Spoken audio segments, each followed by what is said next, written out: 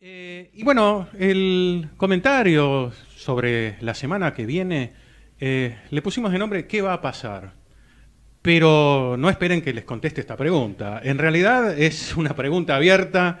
No tengo la bola de cristal, no conseguí un turbante de mi tamaño como para ponérmelo y contestar esta pregunta. Hace rato que los argentinos, incluso los economistas, dentro de los que me incluyo, este, no sabemos contestar esta pregunta porque la economía argentina está dando señales y también obviamente eh, todos nosotros, todos los operadores, todos los ciudadanos, todos los que actuamos, los empresarios, está dando señales este, bastante raras, poco lógicas, diríamos nosotros. No, no, tienen más que ver con las expectativas, con la confianza, como ya algunos han descubierto incluso desde el gobierno, que con la lógica de los números porque ya varias veces eh, hemos pensado, y desde el gobierno y también desde la oposición este, eh, y, también los analistas, que eh, las variables se iban a comenzar a acomodar y sin embargo, bueno, el dólar parecía o parece no tener techo.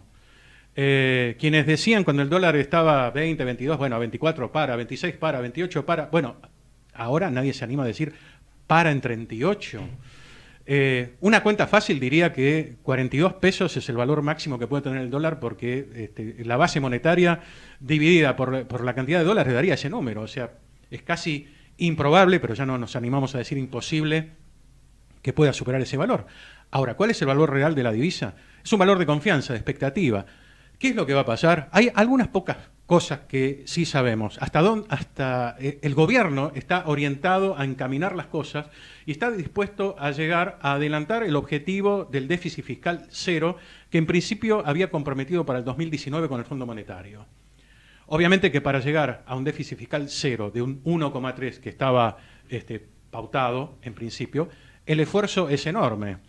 Por eso es que se habla de algo más realista, un 0,5 Así todo el esfuerzo eh, para eh, cerrar la brecha fiscal no solo eh, tiene que venir del recorte de gastos, hay gastos que son realmente rígidos, imposibles de recortar, como son las jubilaciones, los sueldos, y es el grueso de los gastos, sino por el lado de los ingresos, de conseguir mayores ingresos, mayor carga impositiva.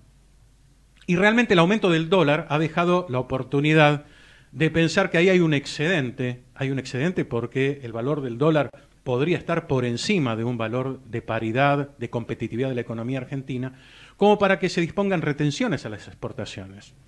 No es algo que le caiga muy simpático al agro ni a la minería, pero de todos modos es la única solución que parece estar más o menos a, mano, a corto plazo y a la vista como para equilibrar las cuentas y luego, sí, una vez eh, estabilizadas las variables económicas, macroeconómicas y microeconómicas, eh, de acá a un tiempo, eh, poder eh, dar una solución de políticas de más largo alcance.